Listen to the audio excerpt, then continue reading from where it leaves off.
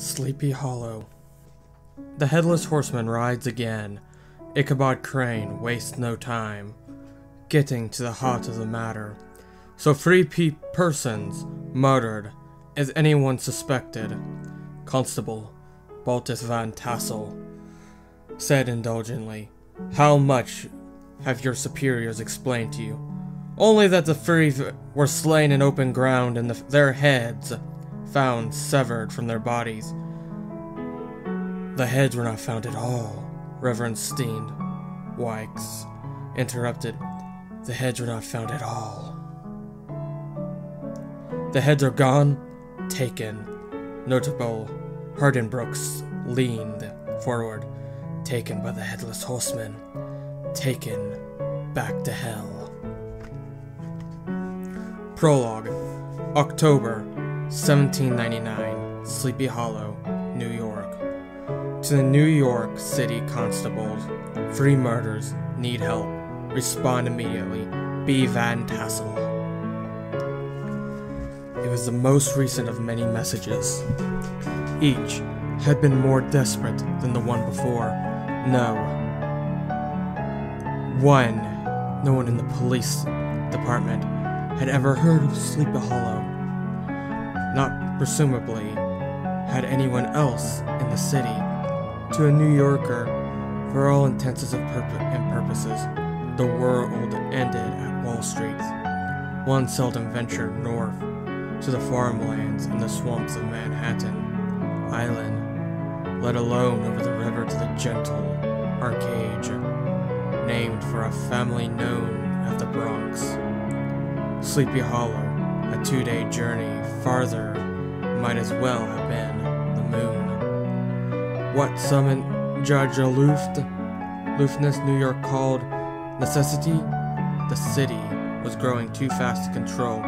Distant murders held a little shock valued in this place, where death was a daily event, where streets were littered with victims of passion and pettiness, of debt and the grudge held too long, where yellow fever wiped out thousands, poverty ran rampant, and social service constant consisted of 16 constables and 14 marshals, three jails, a workhouse, and a poorhouse. In New York, just as in Sleepy Hollow, a wily killer could pull off the perfect crime because in 1799, the dead did not tell secrets. It lo- if life was a raw and unforgiving public journey, death was a solemn mystery best handled by the family and the church. A victim who had no kin became a disposal problem for the state. The body was of no use. It held no clues, unless one knew how to look for them. He was not dead, no doubt about that. He had his head bobbed at, on dark and brackish water, his hair floating among the debris, like a weaver, wary, lost animal. A drowned river rat, Constable Ichabod Crane, had fought it first. Perhaps he should have left it at that, but something about the object had stopped him. A lodged moment, the suggestion of weight undertoned the hair. Approaching the edge of the Hudson River, Ichabod Crane swallowed hard. At times such as these, he wished he didn't see so much. It was his nature, for better or worse. He carried himself at the edge of caution, a sharp and suspicious eye, a healthy disrespect for the normal police procedures that made him, among his fellow New Yorkers constables, either the most innovating or the most annoying man on earth.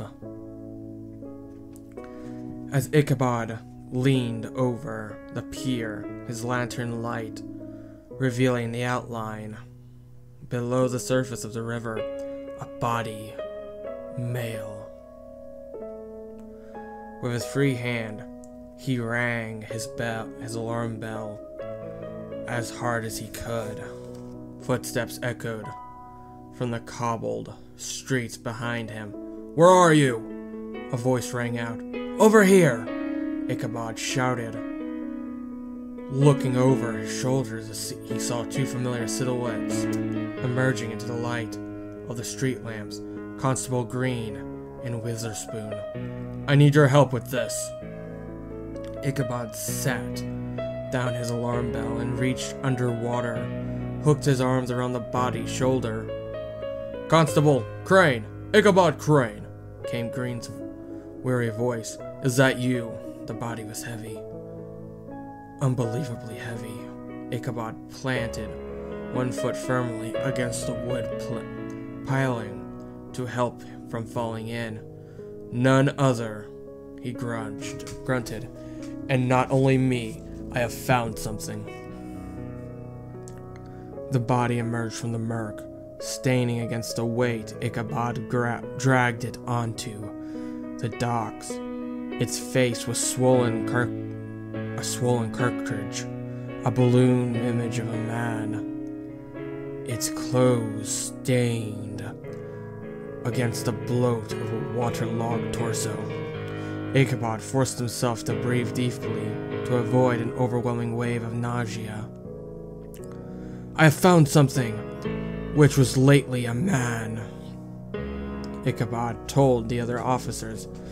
Even in darkness, Ichabod could see the faces of his two colleagues. Green murmured something about wheelbarrows. And then they were gone. How did this happen? Ichabod asked himself. An accident, a drunken plunge, after a night of carousing. That was the usual explanation. Well, that and suicide. The Hudson River had claimed to share of men with broken dreams. Or was it murder? Bad debt, perhaps? Ichabod held his lantern over the body, searching for burn, bruises, or, and cuts, but the light was too erratic, too faint. Clearly, the body must be examined. If it was murder, the offender was still at large. The creaking and the scraping of rustic metal wheels pierced Green and Witherspoons. As me- the men finally came into the light, Ichabod was relieved to see that among them, along with the wheelbarrow, they had brought a blanket. Already the eyes of the dead man seemed to have been bur- burned a place in Ichabod's brain. The three constables loaded the corpse onto the wheelbarrow. Ichabod made sure to drape the blanket so that the face was covered. Grimly wordless, the three men pushed the creaky cart towards the center of the metropolis. The warehouse yard, the watchhouse yard, was empty, given in an absurdly peaceful quantity that would shatter at dawn. First light, of course, throughout the daytime. Any visitor not used to see to the ways of New York might have missed the ground for a madhouse. But now it was an empty blackness of night, and the cart's wheels echoed loudly as Ichabod and his cohorts entered the main watchhouse chamber. Throughout the bars of the jail cells, the yellow eyes of convicts followed the men's motion movements. The high constables was waiting, his features moved, and beneath a ticket of mustaches and beards remained unmoved as a blanket. Unmoved as he lifted the blanket to examine the body. Bonnet, he said. yes, sir, snapped Constable Green. Immediately, Constable Witherspoon began wheeling the body away. Ichabod, stunned. Surely the High Constables knew better than to destroy evidence. Just a moment. If I may, Ichabod blurted out. We do not know what was the cause of death. When you find them in the river, the High Constable replied slowly, the cause of death is drowning. Possibly so, if there were water in the lungs. Ichabod said, but by pathology, we must determine whether or not the dead. He was dead when he went into the river. The High Constable stiffened. Cut him up? Are you. are we heathens? We let him rest in peace, in one piece, as according to God in the New York Department of Health. Ichabod stiffened in protest. It was no use. The High Constable was not to be contradicted by anyone. A flurry of shouts, scuffled, broken, the tense quiet thoughts of the watch house entrance, two others constables dragging in another victim. This one was alive but bloody and half senseless. What happened to him? The high constable demanded. Nothing, sir. One of the officers replied. Arrested for burglary. The two men shoved the man against the iron bars. He hit with a loud, sickening clank and cried out in pain. One constable threw open the jail door and pulled the leather trenchard. Trenchard. Together, the two men bludgeoned their victim until he fell, withered, into the cell. Ichabod averted his eyes. Good work, the High Constable said. No, the worst work, Ichabod said to himself. The work of a society whose growth has exceeded its compassion and logic. If the High Constable would not listen to his pleas personally, Ichabod was determined to seek a public forum. The morning Seminole crime fighting presentation was to occur at the watch house. At the invitations of a besieged police department, citizens were to present crime fighting ideas. The High Constable, the Burgomaster, the Aldermen, and the mag- magistrates would offer a cash contract for the best of the presentations. Ichabod decided to attend as a civilian participant, not a constable. He arrived at the warehouse shortly after dawn, though the windows came the deafening clamor of New York mornings, milkmen and chimney sweeps, bakers and bellmen, hot corn girls, whose overflowing baskets sent a sweet warm aroma into the sweet, choked room. The presentations were loud and rushed. It seemed every inventor, eccentric, and crank in New York was attending, many having arrived before daybreak. Each idea seemed more ludicrous than the last. More Ichabod noticed motivations more by greed than justice and in a few weeks the plagues of pickpockets will be a thing of the past. Enough, announced a shifty eyed man, shouting to be heard. He held up a su- soon of mechanic, metallic gadgets resembling a mousetrap. Give me a dozen constables in gentlemen dresses. Mixing with a crowd with pickpocketers are rife. He pocketed the trap then, with a flourish, he held aloft a short stick attached to one end to a wooden hand. Slowly, he moved his hand towards his own pocket, a nifty hand dip into the gentleman's pocket, and snap! The trap lurched. In a high triumph, the man withdrew the wooden hand. Its fingers had been cut off. Ichabod winced. The device was ridiculous, barbaric. Thank you, the Burgomaster said with a polite nod. We will take your device under consideration, Mr. Val- Vanderbilt. Next! Ichabod leaned forward, trying to attach the official's attentions. Surely they'd seen him before seeing another of these Gothic monstrosities. The High Constable ignored him. Mr. Tompkins. Mr. Tompkins was even more ragged than the last man. He invented invention resembling an animal's cage. Ichabod sprang to his cage, unable to restrain himself. Gentlemen, he cried, in a few months we will be living in the 20th, in the 19th century. Wait your turn, Constable Crane, the High Constable interrupted. Ichabod barrel barreled on. These devices are worthless of modern civilizations. Quiet, the burgomaster barked. Next, I say. Thank you, sir, Tompkins shouted, pulling open the cage door. The door, the floor, was solid steel. A withering board dangled by the strings of the cage bars, and a metal clamp hung from the ceiling like a chandelier.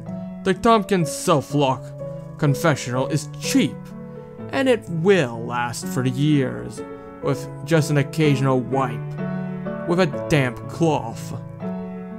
Ichabod began writing furiously on a sheet of paper. When the villains step into the metal floor, Tompkins continued, Arrest this man! Arrest this man! Ichabod shouted. The High Constable glared at him. Arrest? I accuse him of murder. Ichabod insisted. What are you talking about, you loon? Tompkins said.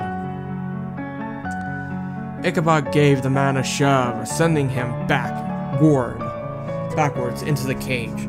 Instantly, the door slammed shut. The clamps dropped from the ceiling, gripping Tompkins' head. As the man screamed, the room erupted in bewilderness, shouting.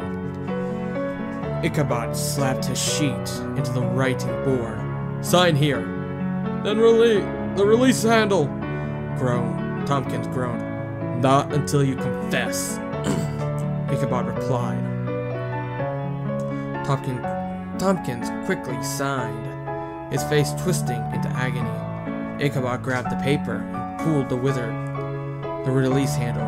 I have a confession, he shouted, to the murder of a man I fished out of the river last night. Tompkins fell limply to the floor. A group of men lumbered to the cage and dragged him away. The platform was a pit. Pandemonium. The High Constable stood up briskly and indulgently. Indignation. Stand down! I stand up for the sense and justice, Ichabod retorted. Our jails overflow with men and women convicted on confessions worth no more than this one. As High Constable banged his javelin for silence, the burgomaster leaned forward over his dais. Constable, this is a song we have not heard from you more than once, but never before. It's this discordant. A compliment. I have two courses open to me. First, I let you cool your head on the ceiling until you learn respect for the dignity of my office. I beg your pardon. Ichabod cut in. I only meant well. Why am I the only one who sees that two meant well? Why am meant to solve crimes? I beg your pardon, Ichabod cut in. I only meant well. Why am I the only one who sees that to solve crimes to detect the guilty, we must use our brains to recognize vital crew clues, uh, using up-to-date scientific, which brings me to my second course. The burgomaster continued. Constable Crane, there is a town upstate, two days' journey to the north, in the Hudson Heights land. It is a place called Sleepy Hollow. Have you heard of it? I have not, Ichabod said wearily an isolated farming community mostly Dutch, the burgomaster explained. Three people have been murdered there, all within a fortnight, each found with his or hers head lopped off. Ichabod blanched. Lopped off? Clean as dandelion heads, apparently. Now, these ideas of yours claim they have never been put to the test. I have never been allowed to put them to the test. Granted. So take your experiments to Sleepy Hollow and deduce or detect the murders. Bring him here to face our good justice. Will you do this? The prospect was appalling, revolting, and a golden opportunity. Ichabod swallowed his doubts. I shall, he said, gladly. The burgomaster smiled. And remember, it is you, Ichabod Crane, who is now put to the test.